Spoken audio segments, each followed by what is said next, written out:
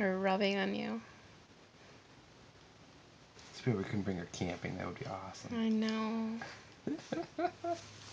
oh, can you pet her tummy?